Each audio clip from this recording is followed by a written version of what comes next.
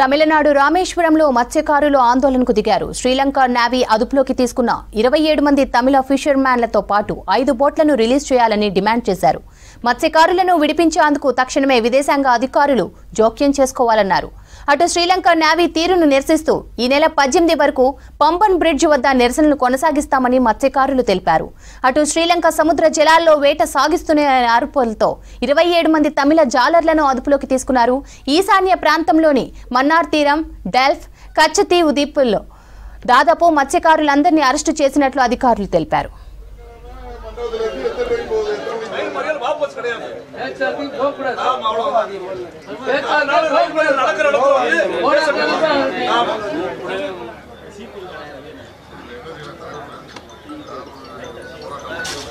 பேசிக்கிட்டு இருக்கோம். ஐம்பது அறுபது நூறு பேருக்கு நெருக்கி இருக்கு வேற யாருமே